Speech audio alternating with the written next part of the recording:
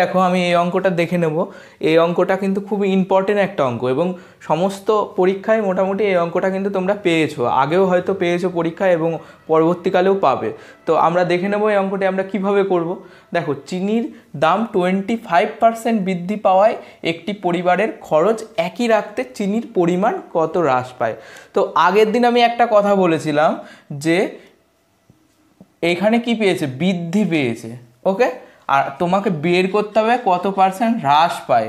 তো এই অঙ্ক আমি সেই একইভাবে করতে পারি, যেখানে পঁচিশটা ছিল, পঁচিশ পার্সেন্টকে আমরা কি করছিলাম? প্রথমে একশো করছিলাম, তো চার দিয়ে গুণ করলাম। তো উপরে যেহেতু আমরা একশো করলাম, কিন্তু আমার রেজাল্টটা তো পঁচিশই রাখতে হবে, তাই আমি চার দিয়ে ভাগ করলাম। ওকে, এইবার এটা হলো আমার অ্যান্সার ফিগার কি? একশো ভাগ চার। ওকে, এইবার আমরা কি করব? একশোকে এবার তিন দিয়ে ভাগ করব, না হলে একশোকে পাঁচ দিয়ে ভাগ করব।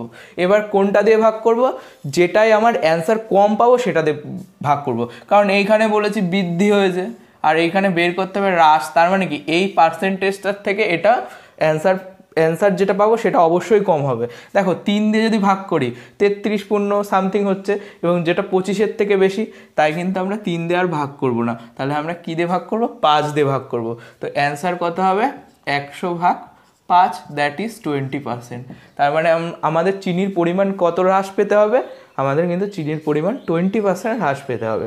তো এই অঙ্কটা আমি আরও আর করতে পারি। দেখে নাও সাইডে আমি করে দিচ্ছি। দুটো জিনিস আছে। একটা কি? চিনির পরিমাণ, চিনির আর্টিকেল আর একটা কি আছে? প্রাইস ওকে আর আমার টোটালটা আমি একটা রেজাল্ট বলে আর একটা হেডিং করে নিলাম। মানে দুটোর রেজাল্টের ফলেই তো আমাদের দাম পড়বে। আমরা যতটা আর্টিকেল নেব, তা, ততটাই তো দাম দেবো। তাই দুটো রেজাল্টের নিয়ে নিলাম। তোমরা মনে রাখবে আর্টিকেল একটা পাচ্ছ প্রাইস একটা পাচ্ছ রেজাল্ট একটা পাচ্ছ। তোমরা কি করবা প্রথমে? সবাই প্রথমে সবগুলো টেন টেন করে নেবা। তো আর্টিকেলের প্রায় প্রাইস টেন টেন যদি হয় রেজাল্ট কত হবে? হান্ড্রেড ওকে এইবার দেখো, চিনির দাম টোয়েন্টি পার্সেন্ট বৃদ্ধি পেয়েছে, তার মানে বৃদ্ধি পেয়েছে কি? এইটা বৃদ্ধি পেয়েছে টেনের টেনের টোয়েন্টি ফাইভ পার্সেন্ট কত হবে? বের করে নাও সাইডে টেন ছিল আমার চিনির প্রাইস তো আমার ধরা অনুযায়ী টেন ছিল। তো টেনের twenty five percent ten by four. আচ্ছা এতটা বৃদ্ধি পেয়েছে, তাই তো? আরও ছোট করো, পাঁচ বাই দুই। তো এতটা বৃদ্ধি পেয়েছে, কিন্তু আগে কত ছিল? আগে ছিল টেন, তার টোটাল কত হবে? Ten plus two point five, that is বারো পয়েন্ট ফাইভ হবে কিন্তু, ওকে? সহজেই পেয়ে যাচ্ছ বারো পয়েন্ট ফাইভ। আর রেজাল্টেন্ট কত হবে? সেম বলেছে কি, খরচ তো একশো টাকা ছিল একশো টাকায়। তো রেজাল্টেন্ট সেম। আর্টিকেল আমি কত পাবো? একশো ভাগ বারো পয়েন্ট ফাইভ তো এটা দিয়ে ক্যালকুলেশন করো। পাঁচ দিয়ে কাটো পঁচিশ, পাঁচ দিয়ে কাটো দু। তোমরা দুটোই দেখে রাখবে, যেটা পরে সুবিধা হবে সেটাই করবে। তাহলে এটা কত পেলে? আট। তো দশের মধ্যে আট পেলে, তার মানে কতটা কমলো? দুই কমলো, কততে কমলো? দশে কমলো, তো একশোয় কত কমবে বের করে ফেলো? তো একশোয় কিন্তু টোয়েন্টি কমবে। ওকে বুঝলে এই জায়গাটায়? আমি প্রথমে কি করলাম? সবগুলো দশ দশ করে ধরে নিলাম। তো রেজাল্ট কত হবে? একশো। ওকে এইবার ওরা বলেছে প্রাইস কত বৃদ্ধি পেয়েছে? পঁচিশ পার্সেন্ট তো দশের পঁচিশ পার্সেন্ট কী করে বের করব আমি? দশের পঁচিশ পার্সেন্ট আমি এইভাবে বের করলাম।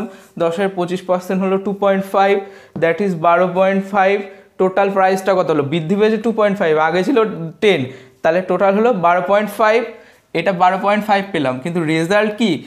রেজাল্ট একই রাখতে হবে, পরিবারের খরচটা একই রাখতে হবে, তাই আগে একশো টাকা ছিল, এখনও একশো টাকা রাখলাম, তাহলে এই দুটোর গুণ করেই তো আমি এটা পাচ্ছি, তার মানে এটাকে এটা দিয়ে ভাগ করলে এটা পাবো, তো এটা ভাগ করে আমি দেখলাম, এই যে দেখিয়ে দিয়েছি, আট পেয়েছি, ওকে, এবার আট কতর মধ্যে পেয়েছি, দশের মধ্যে মানে আগে দশ ছিল, এখন হয়েছে আট, তার মানে কমলো কত, দুই, তো দশে যদি দুই কমে, একশোতে কত টোয়েন্টি কমবে, তার মানে কি, খরচ আমাদের টোয়েন্টি পার্সেন্ট কমাতে হবে, ওকে?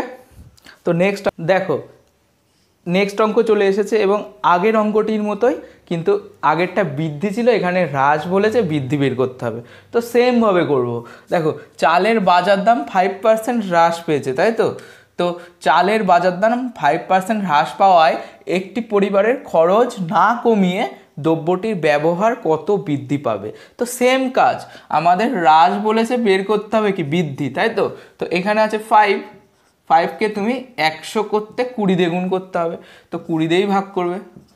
তো তোমার অ্যান্সার ফিগার কত হবে? অ্যান্সার ফিগার হবে একশো বাই কুড়ি, তাই তো? উনিশ দিয়ে ভাগ করবে, না হলে একুশ দিয়ে ভাগ করবে। তো এই ব্যাপারটা মাথায় মাথায় রেখো কিন্তু। এক প্লাস করব, নাই, এক মাইনাস করব। তো এইখানে তোমার হ্রাস পেয়েছে। তো বৃদ্ধি বের করতে হবে। তো বৃদ্ধি মানে কি? বেশি হতে হবে। পাঁচের থেকে পার্সেন্টেজ বেশি হবে, তো একুশ দিয়ে ভাগ করলে তো ক্লিয়ারলি বুঝতে পারবে পার্সেন্টেজ কম হবে। তাই আমি উনিশ দিয়ে ভাগ করব যাতে পাঁচের থেকে বেশি পার্সেন্টেজ হয়, তো অ্যান্সার হবে একশো বাই উনিশ। দ্যাট ইজ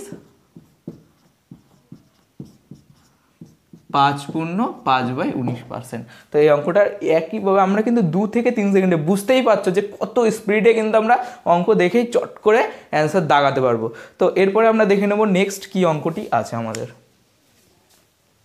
এই অঙ্কটির সঙ্গেও আশা করি তোমরা আগেও পরিচিত হয়েছো, আর পরবর্তীকালেও হবে। তো কীভাবে সোজা একদম শর্ট প্রসেসে করে নেব, আমরা এবার দেখে নেব। এর বেতন বিয়ের বেতনের টোয়েন্টি পার্সেন্ট বেশি। বি এর বেতন, এর বেতনের চেয়ে শতকরা কত কম?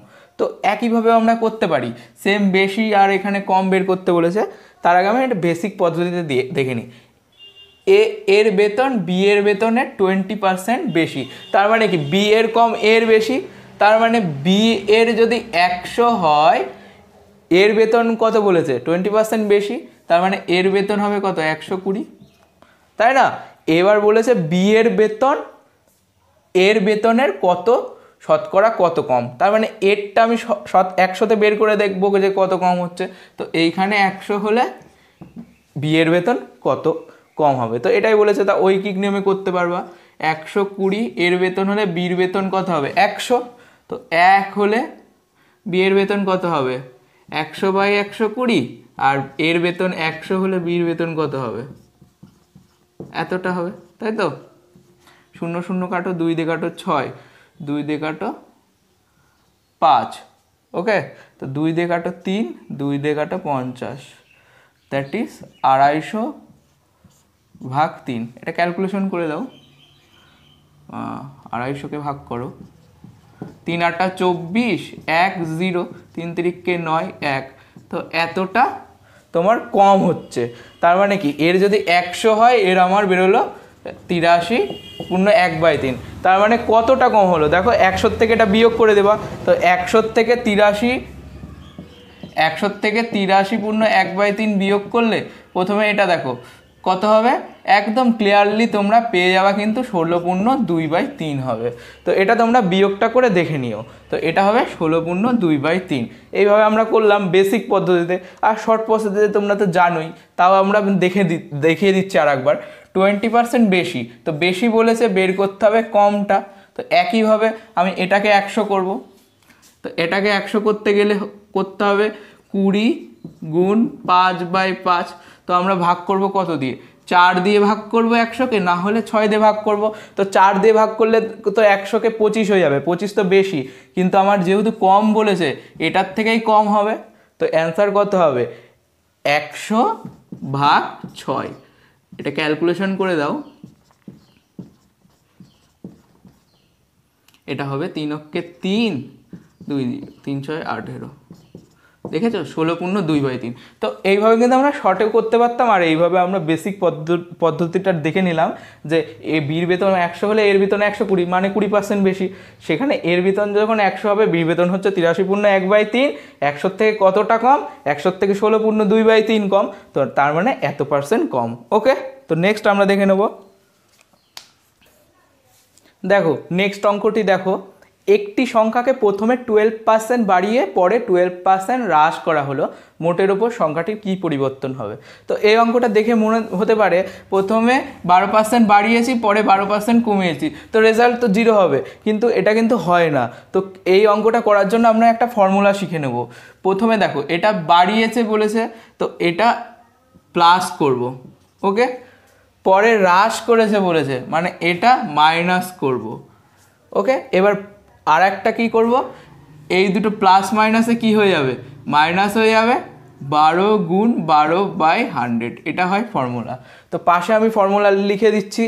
যদি দুটোর ক্ষেত্রে, এই ফর্মুলাটা অবশ্যই দুটি পার্সেন্টেজ থাকলে তখন হবে। যদি বৃদ্ধি বলে তো প্লাস সাইন নেব। আর যদি হ্রাস বলে তো মাইনাস সাইন নেব। তো আমি বৃদ্ধি ধরে আমি তোমাদের দেখিয়ে দিচ্ছি। তো A plus B plus A B by hundred এটা কিন্তু ফর্মুলা এবার এ বি, এবার এর সাইনটা কি হবে? সেটা আমরা দেখব যে বৃদ্ধি পাচ্ছে কিংবা হ্রাস পাচ্ছে এই হিসাবে। যদি বাড়ে প্লাস হয়, পজিটিভ কখন নেব? যখন বৃদ্ধি পাবে। আর যদি প্রশ্নে বলে দেয় ঋণাত্মক হ্রাস পাচ্ছে, তখন আমরা সাইনটা কিন্তু নেগেটিভ নিয়ে নেব। ওকে? তো এটা হচ্ছে general formula.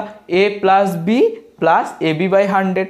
যখন যেটা মাইনাস হবে, আমরা এখানে সাইন চেঞ্জ করে নেব। এইখানে যেমন প্রথমে বলেছে টুয়েলভ পার্সেন্ট বাড়িয়েছি, তাই এখানে সাইনটা প্লাস নিলাম। আর তারপরে বলেছি টুয়েলভ পার্সেন্ট হ্রাস করা হয়েছে, তাই মাইনাস নিলাম।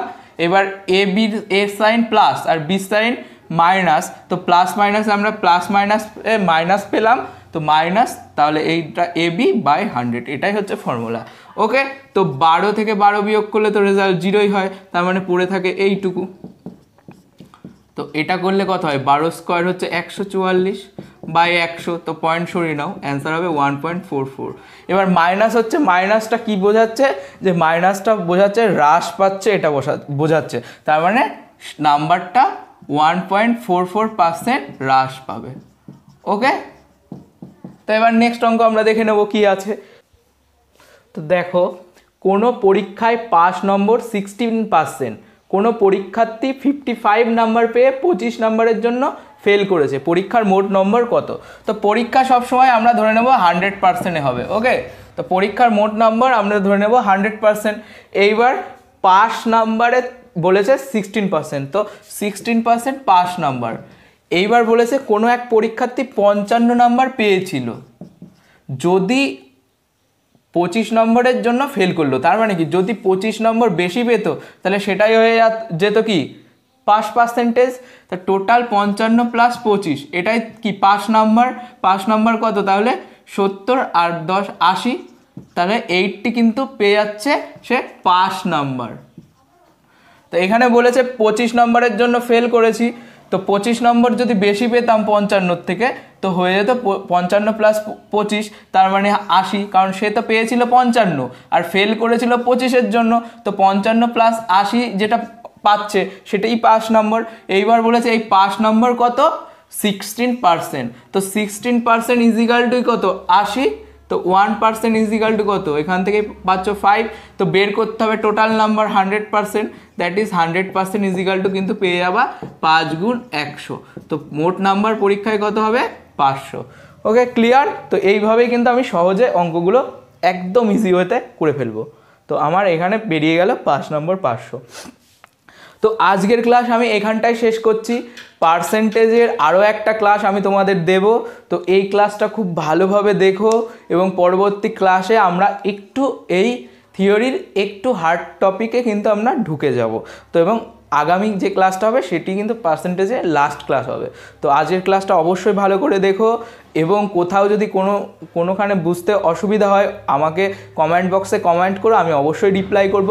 আর যারা যারা আমার চ্যানেলটি এখনও সাবস্ক্রাইব করনি, তারা অতি শীঘ্রই সাবস্ক্রাইব বাটনে চাপ দিয়ে আমার চ্যানেলটিকে কিন্তু সাবস্ক্রাইব করে নাও। কারণ কম্পিটিটিভ এক্সামের জন্য যখন তুমি খাটছ, তখন কিন্তু আমার ভিডিও তোমাকে দেখতেই হবে।